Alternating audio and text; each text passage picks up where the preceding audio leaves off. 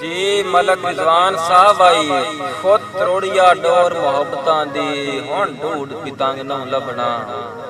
ਤੇ ਖੁਦ ਰਾਂਝਾ ਹੋ ਕੇ ਆਪ ਖੜਾਏ, ਸਦਰਾਂ ਦਾ ਜੰਗ ਨੂੰ ਲੱਭਣਾ।